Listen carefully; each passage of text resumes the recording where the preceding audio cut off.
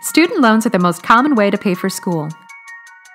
Here are some tips and info on student loans. Know the type that is offered. Private loans usually have more restrictions and are subsidized, meaning interest payments start right away.